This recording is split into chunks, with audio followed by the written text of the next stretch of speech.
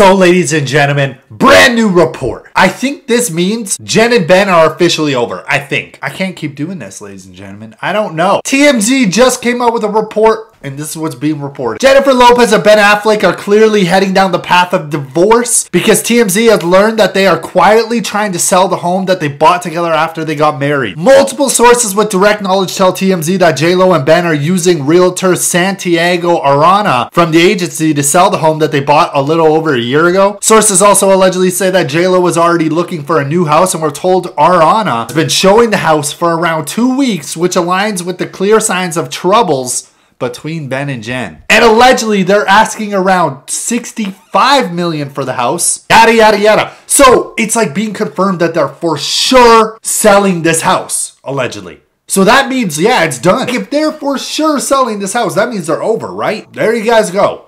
Oh my goodness. I don't know, man. I don't know. Tell me what you guys think of peace.